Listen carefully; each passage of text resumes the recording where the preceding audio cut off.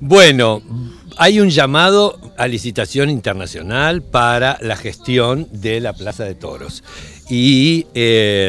yo desde que supe que se iba a hacer esa apuesta fantástica que es recuperar el patrimonio pero con una visión de futuro, una de las tantas cosas que tuve ganas es de presentarme a esa licitación. Porque yo creo que Colonia es el resumen más perfecto de lo que somos como país, en el sentido de que en él se expresa a través de cada uno de sus productos las distintas corrientes migratorias que llegaron, se afincaron y que con ese,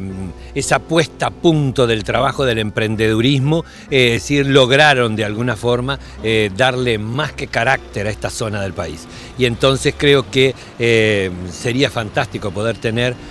en un lugar tan emblemático y en un lugar que va a ser una carta de presentación, una tarjeta de presentación al mundo de lo que es Colonia y el Uruguay, un restaurante donde el producto estuviera transformado eh, a través de la mejor materia prima en un producto con valor agregado que sea una especie de también carta de presentación cultural, ya que he dicho durante tantos años que la gastronomía es un hecho cultural.